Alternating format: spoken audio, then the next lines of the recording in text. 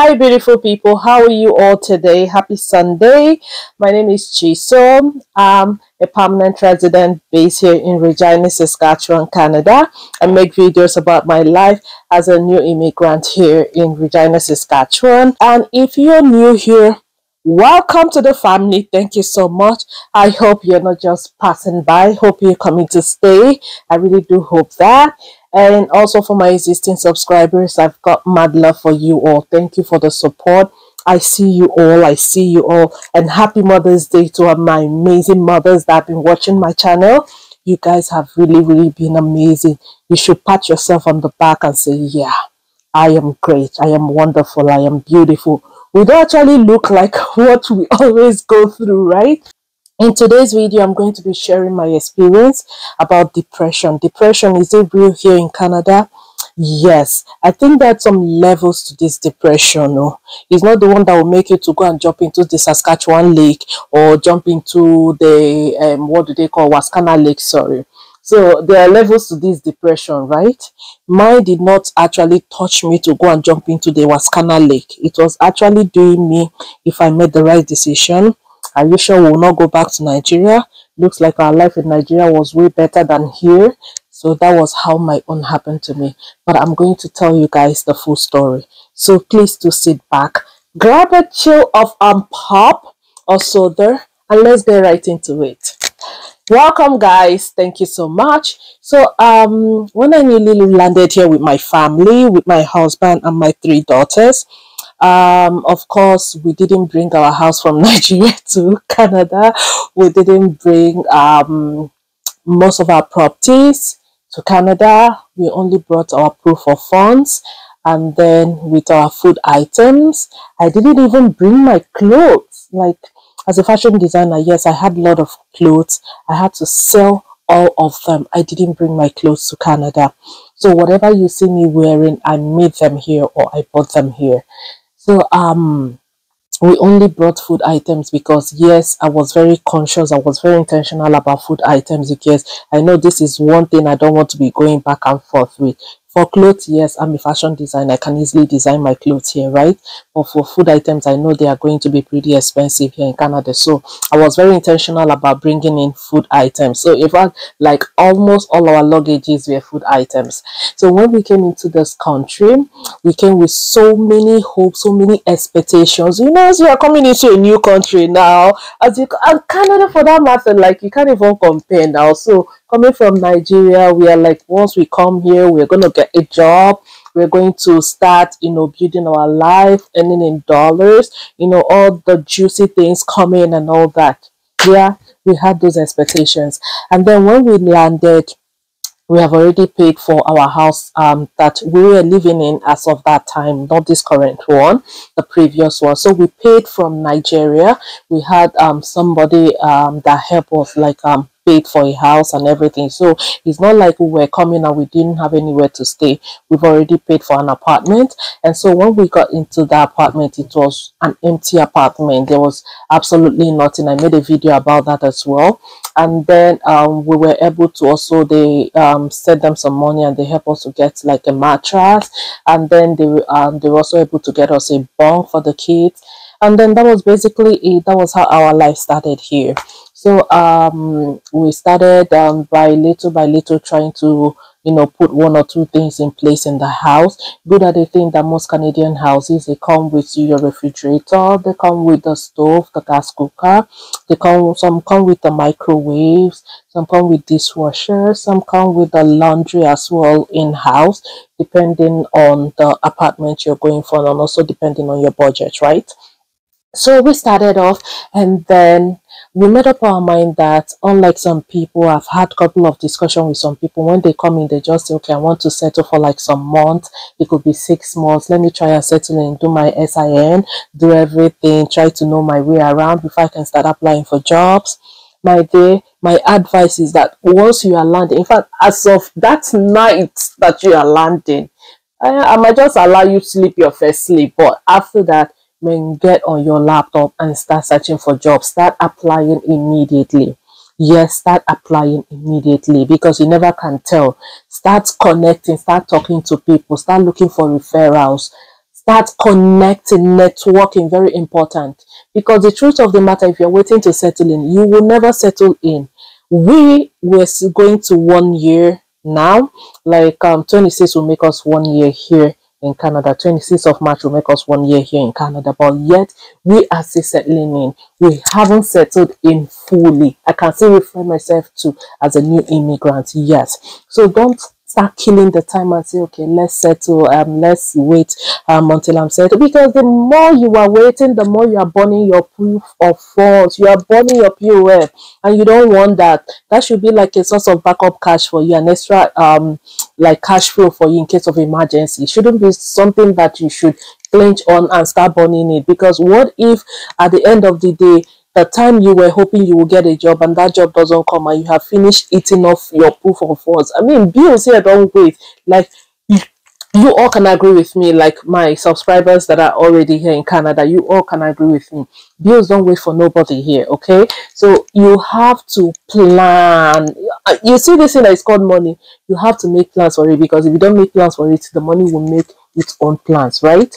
So um, one weekend we started applying for jobs, and then me that um, I didn't really have um, much of um, experience back home. I only did um, I only worked once in Nigeria and then I was focused more on my sewing business. Yes, I had my job I was doing then, but I was focused more on my business, my fashion designing. I have my shop, and then um coming here, I'm trying to put all my resume together.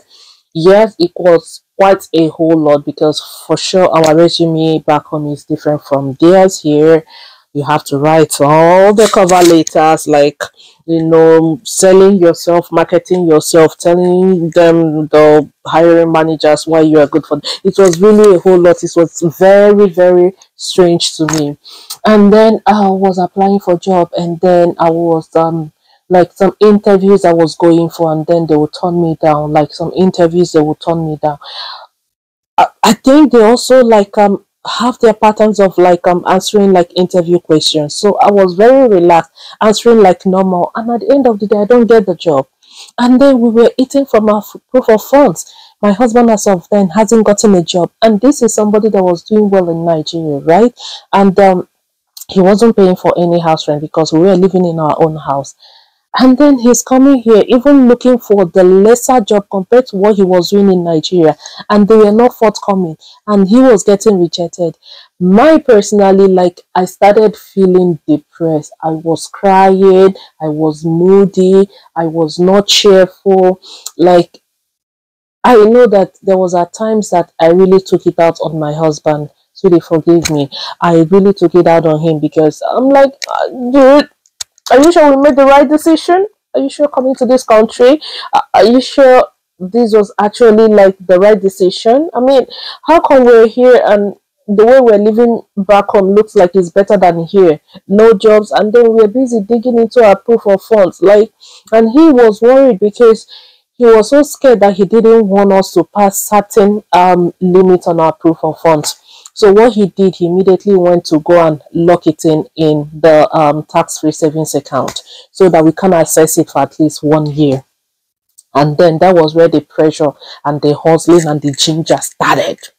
Your babe started applying and then i was i now started off my ecbb program i had so much expectation so much hope in that ecbb program yes i was doing the ecbb program but then i wasn't getting paid oh my god for like two months. I was hustling for job i was applying i was going to offices with my hard copy resume i was submitting them.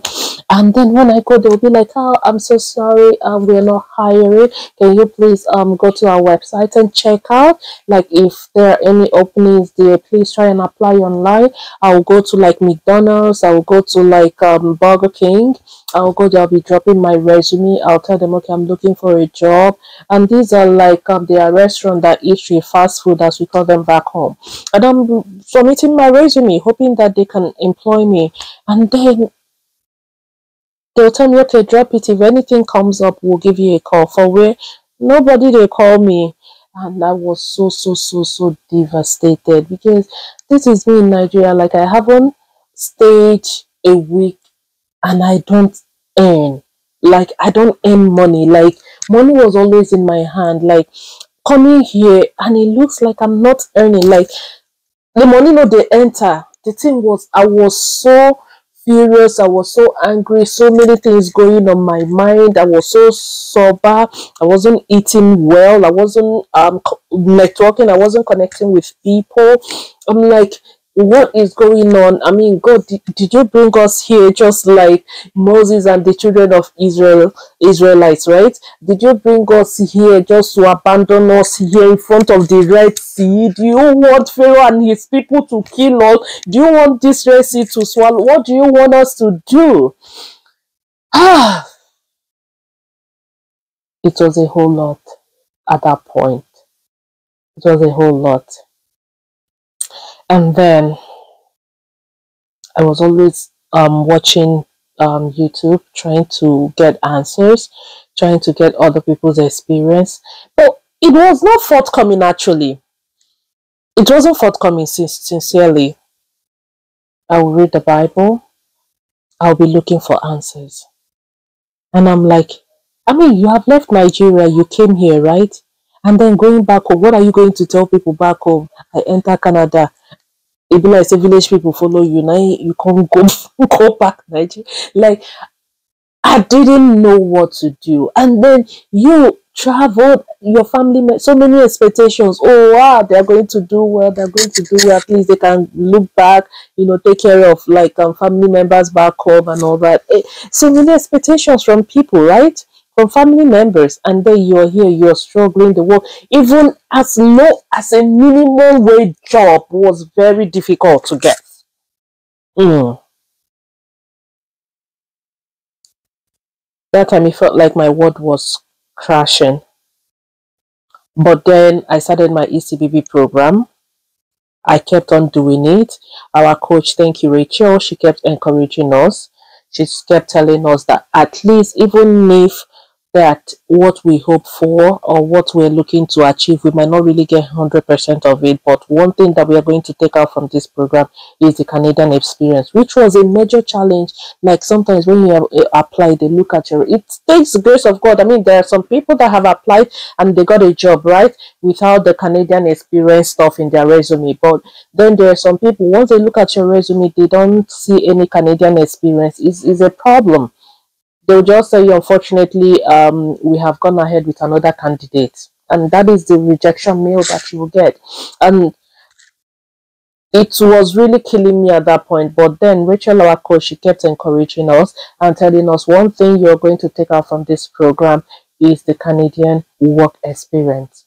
And then that kept me going. And she was like, even there is going to be a job placement, which when you go for that job placement, hopefully if you do well there, the company or the organization, wherever it is at your place, can retain you. So I was looking forward to that.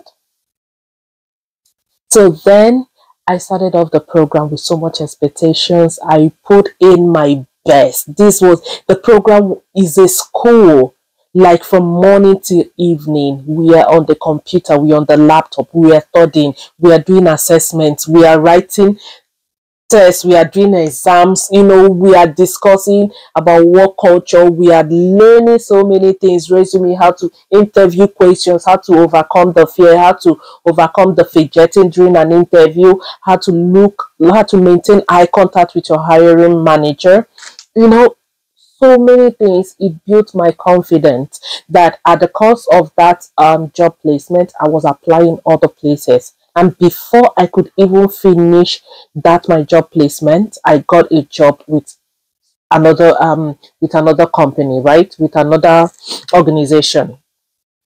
So then I was looking forward if I could get retained in that particular organization that I was working, but I had to even shift the previous one that I got. I just shifted the um because I didn't want to put all my eggs in one basket, of course, as a Naija girl I am. So I just told them, please, they should shift my resumption date. So at least let me know my fate for here, right? So that was how it happened. But then I did not get retained in the place I did my job placement. So I had to fall back on that job which I got, which was pretty amazing. It was not a minimum wage job whatsoever. And then when I got it, I'm like, God, Is it how you are? Like I'm saying it, I can tell this story now for you to listen, but as of then, I was not smiling. I was not wearing makeup. I was not, I was moody. I didn't want to have any kind of conversation with anybody.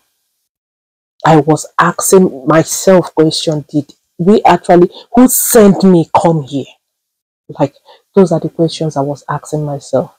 But right now, I can look back and I can tell you that God has been faithful. Yes, God has been faithful to us. I can look back and I can tell you that we are not where we used to be when we newly landed. And I can look back and tell you that that remaining proof of funds that was locked in the tax um, free savings account, the TFSA, is still there. We didn't touch it. And we still have our savings going on right now from the current jobs that we are doing. God did not fail us. God did not abandon us. It is a phase. So I am telling you, new immigrants coming in, those that are yet to come, those that are already here, experiencing similar thing. Because I have like um my husband's friend tell me like the husband is also complaining that the wife is feeling depressed. They just newly landed and she hasn't gotten a job yet. That she's feeling so much depressed. I need to talk to her because he knew I had similar experience. So when you are going through the, there is nothing strange. Like we have also been through that there was a time I was sharing this with one of my colleagues, and then he was like, Yeah, the same thing happened to me. Last, last, everybody go drop the breakfast. Last, last, you go reach everybody. But then we are not praying for it to reach everybody, but just know that it is a phase. When you start feeling like that, just know that God is working out something for you. Just know that something great it is coming. Don't start feeling like as you have arrived Canada, it is time to burn. It is time to shop all the designers for you to prepare whoever you want to prepare. If you have it, if you have whatever that is beating drums in for you inside the bush, by all means, please dance to it. Every fingers are not what equal. So do you. But then if you know that you are like me, that is financially disciplined, then know how much you came to the country with and that you are not here to live the La Vida local lifestyle, that you're here to offer. So please and please, don't get discouraged. Don't cry. Don't take it out on your partner. Don't take it out on your kids. It's a phase. It will pass. This is Canada. Canada is a land filled with milk and honey. For others to also be sucking in from this, um, drinking from this milk, and licking from this honey, you too will also drink and lick from the honey. Your case will not be different. So this is me encouraging you today. Stay strong, be positive, keep applying for that job. Don't stop. You might get thousands and thousands of rejection um, emails. Don't even buy them. Don't look at them. Keep applying until that one that is meant for you will say yes. Thank you guys for watching my video. I hope you enjoyed today's video. See you guys in my next video.